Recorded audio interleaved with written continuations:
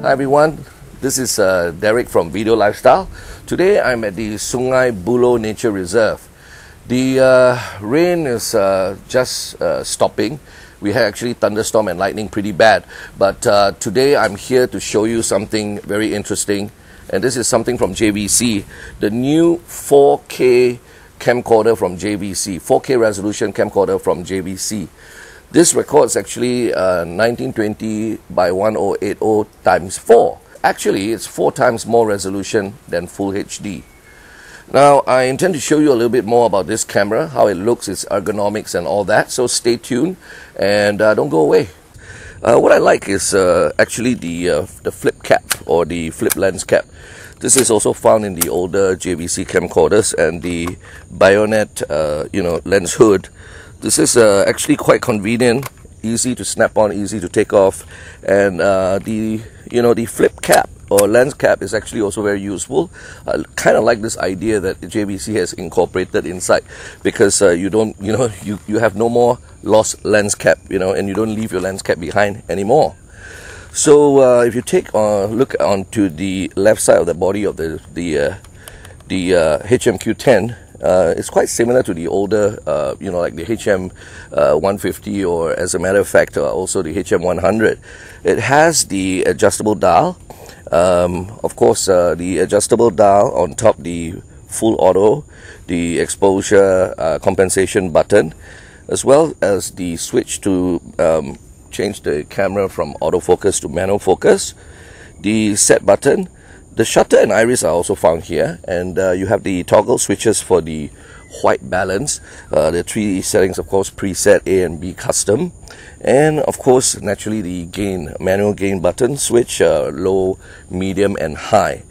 Now, what is really strange uh, that I discovered, you know, about this camera is that it doesn't have neutral density filter. The handle is removable um, just like also the HM100, uh, it's removable. So if you don't want, you just want to be more inconspicuous, you can actually remove this particular handle, the XLR audio unit, from the body. So this is removable, which is pretty cool. And uh, the good part is you still can record audio when you remove the XLR or the professional XLR uh, channel 1 and 2 uh, you know handle partly because there is an onboard microphone. Well, anyway, the rain is not stopping. It seems it's not going to stop. And, uh, well, but I just saw a really nice bird, a uh, two legged bird. Oh, sorry, I mean, not that kind of bird. Uh, but anyway, uh, still a very nice bird. And uh, the uh, trying to use the, um, the camcorder to zoom in. The camcorder comes with a 10 times optical zoom and 20 times digital. But I usually like to turn, of course, the digital zoom off, uh, you know, via the menu. You don't have to record in 4K. Uh, you can also record in just full HD just by using one of the four uh, four SD uh, HC slots that you find over here. One, two, three, four. Can you imagine four slots? Do you know why there's four slots? You need four slots because when you record 4K, it has to go into four slots. And how the camera does this is by debayering into four different quadrants, four different quadrants of 1920 by 1080. So you got one, two, three, four. Now this makes up the whopping 3840 by 2160 total resolution. So uh, if you just want to record in full HD, then you can just use one of the slots and uh, you can do 1920 by 1080. Now the 4K recording is done in the MP4 container uh, or either also the .h264. This one is similar to the older like the HM uh, 700 or the uh, the 700 or the 100. And uh, for people who are using, uh, of course, the Mac system would prefer the, of course, the .h264, and those who are using PCs would probably stick to the MP4 container. Now, uh, JVC provides you a software. So if you're actually recording in 4K, uh, you need a particular software, a software to actually stitch uh, all these four quadrants uh, or four files because there will be actually individual files in one of the A, B, C, D slots. So you have to stitch this together using a software that JVC provides you free, FOC of course, and stitch it into one single file for your FCP X or something for editing.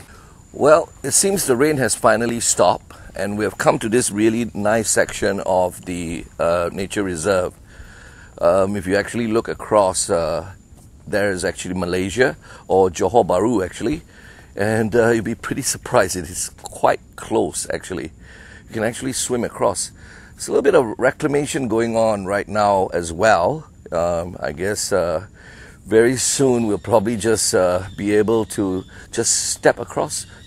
The camcorder has a 3.5 or 3.5 inch LCD screen, 920,000 pixels. The electronic viewfinder is 0.24 with 260,000 pixels. The LCD screen is touchscreen, so you can actually also press record on the on screen.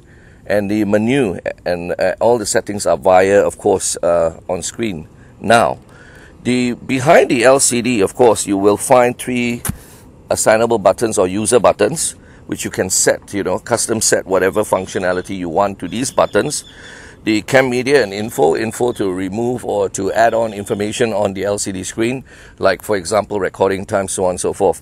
Now this camcorder allows you to shoot interval, there are interval uh, settings. Uh, although there are not many displays on the market today that uh, that display the full glorious 4K, but if you really wanted to, uh, this probably would be a very cheap option for you, for you, because I understand that this is really a really affordable camera for what it does. You know, 4K uh, resolution.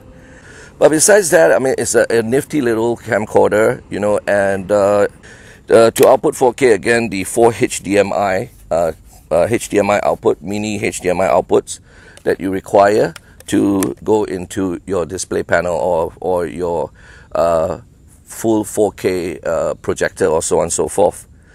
Well, again, um, this is the JVC HMQ10 uh, and 4K uh, from JVC.